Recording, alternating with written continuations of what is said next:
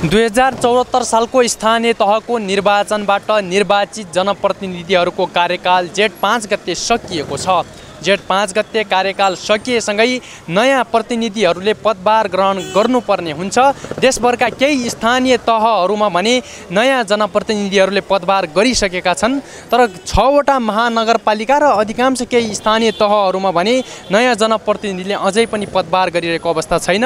त्यहाँ मतगणना निकै नै ढिलाइ भएका कारण अ, मत परिणाम अहिलेसम्म सार्वजनिक भइरहेको छैन र नयाँ जनप्रतिनिधिहरू निर्वाचित भइसकेका छैनन्। मतगणना जारी नै छ।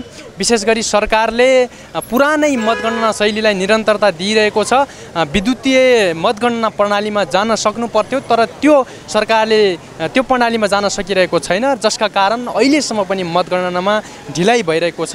यति बेला हामी ललितपुर महानगरपालिकाको स्थानीय विकास प्रशिक्षण प्रतिष्ठानमा छौँ। यहाँ ललितपुर महानगरपालिकाको मतगणना भइरहेको छ। यहाँ बाहिर भने कार्यकर्ता शुभेच्छुक र आम मतदाताहरू यो मतगणनाको परिणाम सुन्नका लागि निकै नै अ, प्रतीक्षामा हुनुहुन्छ हामी उहाँहरूसँग कुरा गर्दैछौँ। नमस्कार। एकदमै उहाँहरू यसरी बसिरहनु भएको छ। मतगणनाको नतिजा के आउँछ कस्तो आउँछ भनेर।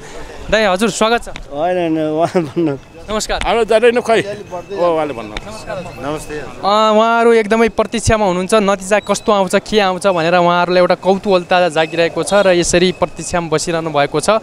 विशेष गरी ललितपुर महानगरपालिकाको मतगणना जारी भइरहँदाखेरि पाँच दलीय गठबन्धनका साझा उम्मेद्वार मेयर पदका प्रत्याशी चिरिबाबु महर्जन अग्र स्थानमा हुनुहुन्छ भने उहाँलाई नेकपा एमालेका प्रत्याशी हरिकृष्ण व्यञ्जनकारले पछ्याइरहेको अवस्था छ।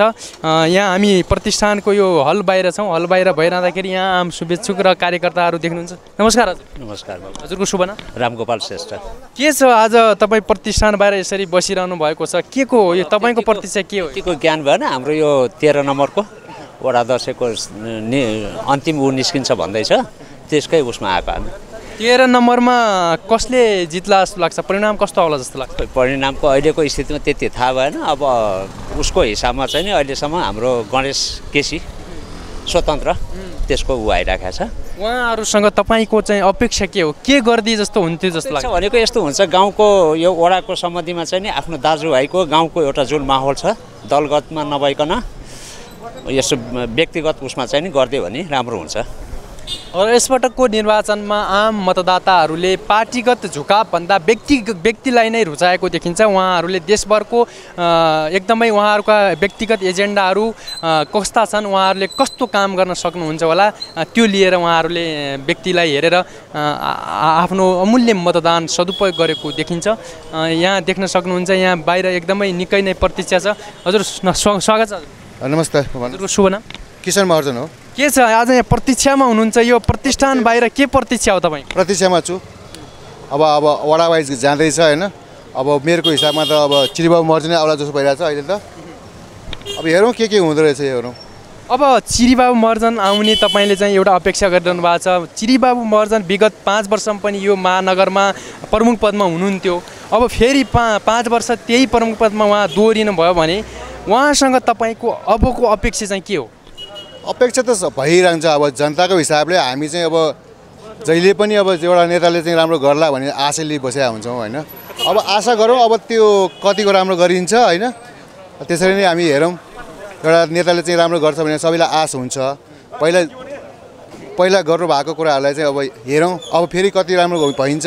उहाँहरूको धेरै चाहिँ अब मुद्दाहरू छन् हेर्नु यो गर्छु त्यो गर्छु भनेर त बाचा गर्नुभएको छ नि त। त्यो हिसाबले जाला अब हेरौँला अब के गरौँ। एकदमै अब आउने नेतृत्वसँग उहाँहरूका अपेक्षाहरू छन् आशाहरू छन्। अब कस्तो अब आउने नेतृत्वले यो समग्र महानगरपालिकालाई कुन दिशातर्फ अगाडि लैजाला? महानगरपालिकालाई कुन गतिमा एउटा विकासको मोडेलमा अगाडि बढाउला भन्ने उहाँहरूको चिन्ता विश्लेषणहरू छ। हजुर नमस्कार। नमस्ते। हजुरको शुभ नाम? मेरो निर्मल विष्ट। निर्मल विष्ट। हजुर कुन पार्टीको हुनुहुन्छ? म नेपाली काङ्ग्रेस नेपाली काङ्ग्रेस। अहिले चाहिँ यो मतगणना जारी छ तपाईँहरू चाहिँ यो काङ्ग्रेसको प्रतिनिधि पनि हुनुहुन्छ।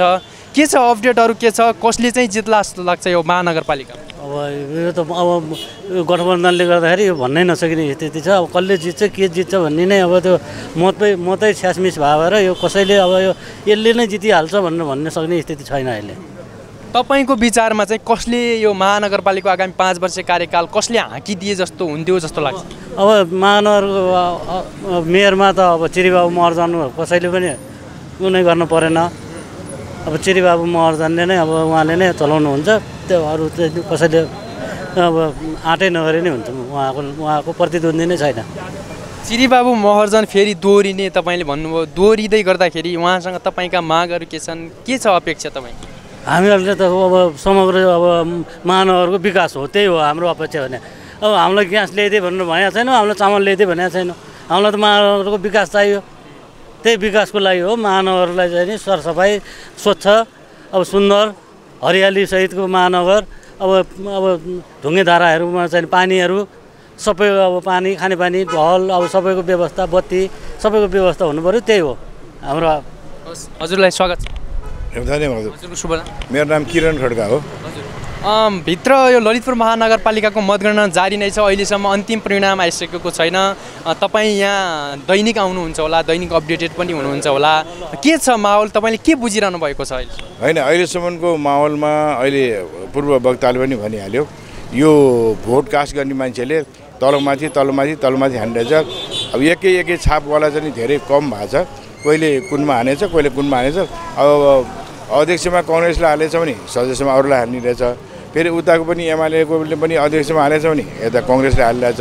भएको हुनाले यो सही मात्रामा को आइपुग्छ कसले चाहिँ लिड गर्ला पछि भनेर चाहिँ एक्ज्याक्ट भनिसकेको छैन। अब यसको चाहिँ नतिजा चाहिँ सात आठ बजेपछि अलि बिस्तारै पिक्चर खोल्दै होला कि जस्तो लाग्छ मलाई चाहिँ विशेष गरी यसपटकको यो निर्वाचनमा चाहिँ आम गठ गठबन्धनका कारण मत मतपत्रहरू बदर हुन्छ भन्ने जुन अनुमान गरिएको थियो त्यो अनुमान वास्तवमा सही साबित भएको जस्तो देखिन्छ।